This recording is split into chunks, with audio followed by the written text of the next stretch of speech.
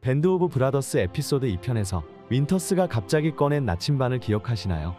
이 나침반은 실제 2차 세계대전 당시 사용한 버튼 나침반 또는 escape compass라고 불린 장비로 연합군의 조종사 또는 이지중대처럼 공수부대원들에게 지급되었던 장비였다고 합니다.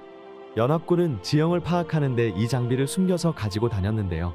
입고 있는 군복 어디든 숨기는 게 가능하지만 특히 윈터스처럼 바지 단추에 숨겨두는 경우가 많았다고 합니다. 일반 나침반이 분실 또는 손상이나 적에게 압수될 경우를 대비해 가지고 다니는 것으로 추락한 연합군의 많은 파일럿들이 이 장비로 길을 찾아 영국으로 돌아오기도 했습니다.